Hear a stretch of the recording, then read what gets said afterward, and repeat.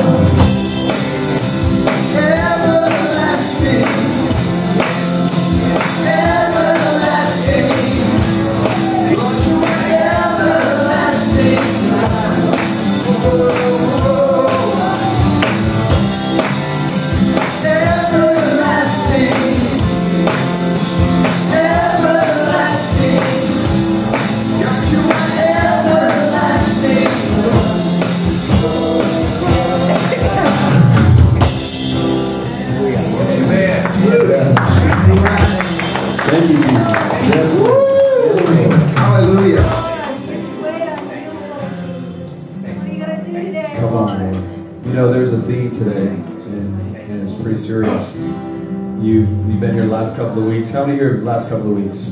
Heard the testimonies. CJ, good to see you, brother. I haven't seen you in a while. It's better when you're here, man. You know that? Amen. It's better when you're here. Uh, pastor Scott gave his testimony over two weeks. A lot of times we look at our pastor, we put him, we put him way up here, and that's that's good because you know what his his lifestyle dictates that because he's changed his life.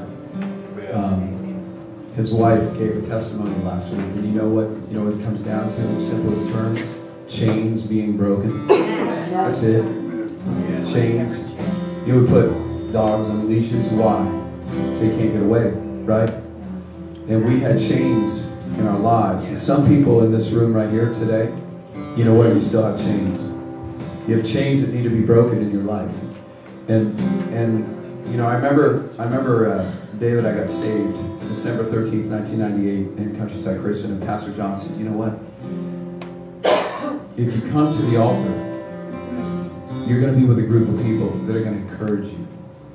You're, you're not going to be somebody who just steps out there and, and feels awkward because you're in a group, you're in a room full of people who, who want you to have the same freedom that some of us experience. But you know what? There's some that still have chains that are holding them back. And I don't know what those chains are. Maybe it's depression, maybe it's fear. I know there's people right now, I know there's people in this building that are gripped with fear. They're gripped with fear. Perfect love casts out all fear. And God is love. Our God is love. Maybe it's maybe it's a financial thing. Maybe it's a it's a physical thing. I don't know what it is. But I can promise you this. Today is the day of salvation. Today is the day that those chains can be broken. We prayed, we've been here since 8.30 this morning, and we prayed God would move in the hearts of people that are coming here today, coming here today. If you feel something special that says, you know what, I'm tired of the baggage, I'm tired of the chains that hold me back. I want to be that man or that woman, that guy or that girl that says, God, when it says that I feel like I'm lifted up on the wings of eagles, I want that to be me. And that can be you today. This song talks about how chains are broken. And I want your chains to be broken today. I want, I pray that these altars would be filled this morning. And you know what? You don't have to be at this altar to break your chains. You can be right where you are. But there's something about coming to the altar and saying, Here am I, Lord. I'm going to put my chains right here. And I'm going to leave them. And I'm not going to take those chains back. Because our God is a chain breaker. He's a chain breaker. There's nobody in this room, nobody in this room that has a chain greater than which the Lord can break. Like that. Like that. Just like that. On December 13th, 1998, that's when my biggest chain was broken. And God has helped me break chains for better than 15 years. And He's still doing that today. If you got a chain that you need broken, I want you to give that to the Lord because He wants to break the chain. Sing this with us. Amazing grace,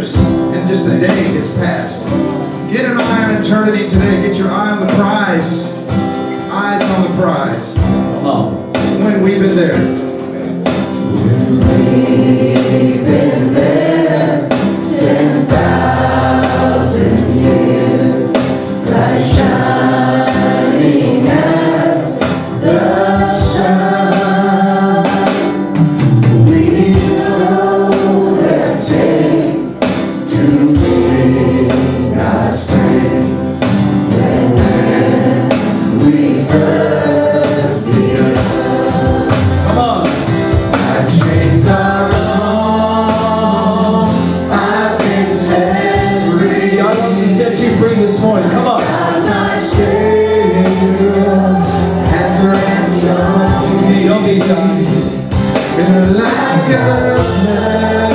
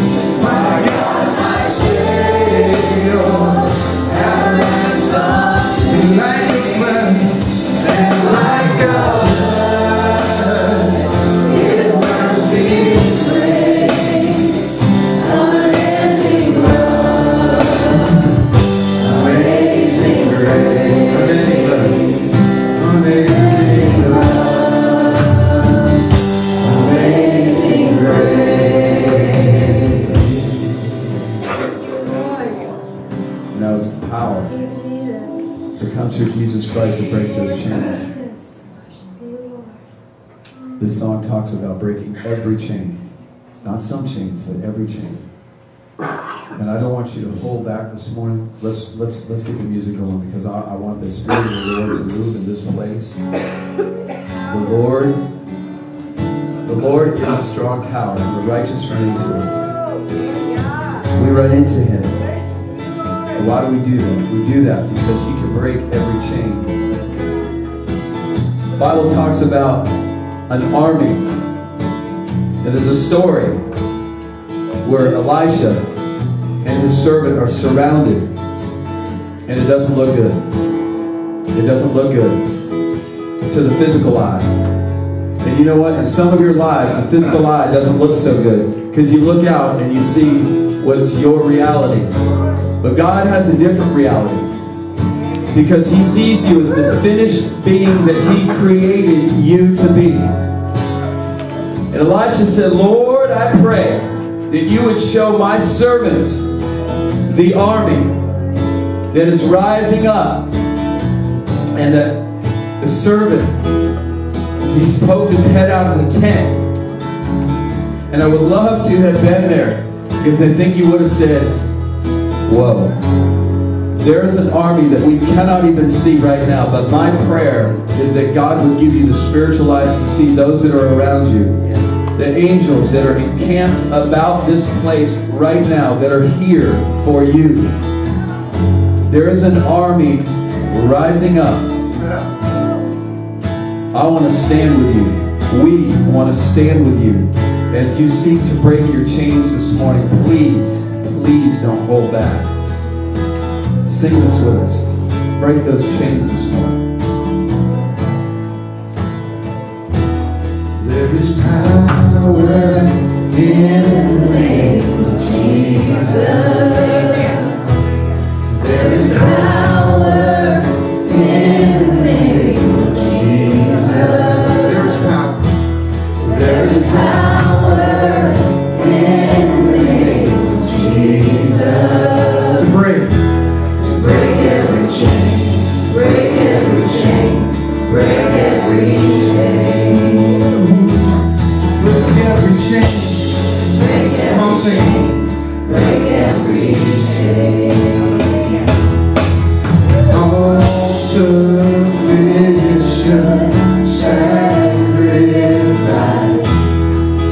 freely given, such a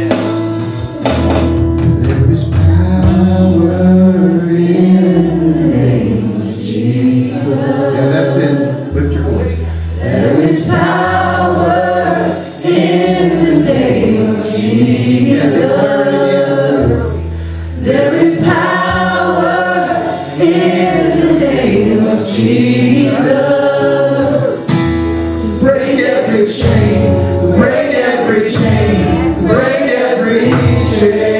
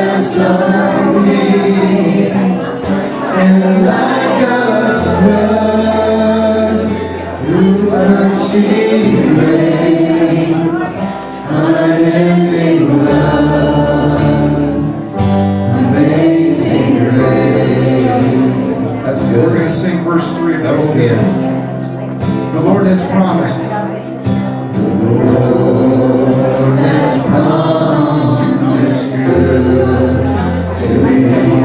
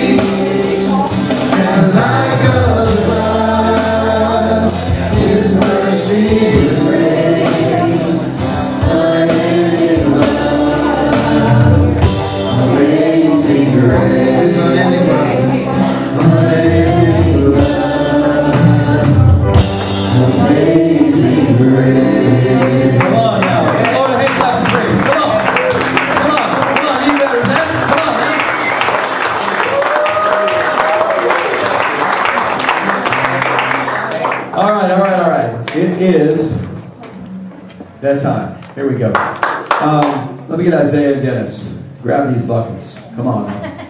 Uh, we are buckets. I'm prophesying. Uh, this is, what is this, third Sunday? Third, fourth, fourth Sunday. I lost some Sundays. Uh, this, uh, the uh, tithes today are going to go to the, uh, the general expenses of the church. And um, as we grow, there are many. Uh, and uh, God has done exceeding abundantly above what we could ever imagine. Uh, the Ruth Fund, praise God. How many have praise for the Ruth Fund? We're going to start work on the roof Fund. Now the only question is, what color? How great is that? But I heard something funny. You know, how many people in here know we actually have a building fund? If you know that, raise your hand. If you know it. Okay, about half. Okay, about half. Now, um, we have a building fund because why? We're need a, we're gonna need a bigger building. It's like they said in Jaws. We need a bigger boat. That's right. We need a bigger boat. Uh, here's the good news. You guys may not have known this. We have the money. Guess what? It's in your account. So we just got to get it from there to here. That's it. It's easy money. No. Uh, I heard that the other day. I just thought it was kind of funny. But uh, we do have a building fund, so uh, be praying about that. If you feel led to uh, to put something in there for that, you just write that on your check. Uh, the uh, but the money today is going to go to the general expenses of the church. So we just thank you for your support. Our pastor and his wife are on their way back from uh, Chattanooga from the National Officers Meeting. And so keep them in prayer as well as the other men and women. There's a lot of people that are sick, a lot of needs here in this local body because, as I said this morning in Sunday school, that Jesus didn't come to, to save the well because they don't need a physician. It's sick people that need a physician. There's a lot of hurts, a lot of needs in here. We've got, you know, there's some people here that their spouses aren't here. But you know what? We believe by faith that they will be here in Jesus' name. We believe that by faith. And those that are sick in body, God is going to heal them because He's a God who hears the prayers of our hearts. And we don't always understand, know what that means, but I know and trust that God's in control. So, Father, we thank you for the opportunity today to be faithful in our tithes and our offerings. And Lord, we just ask that you, you bless everyone here, Lord God. I pray that you move upon their hearts to recognize the need for obedience when it comes to being faithful in the giving. That's what your word says. It's not something we make up. We don't preach that here. We just preach that, hey, we should be obedient to your word. So, Father, uh, may you go forth in the giving today because we know that you do love a cheerful giver. And we know that that's in your name that we pray. In Jesus' name. Amen. Enjoy the song with us. Lord, bless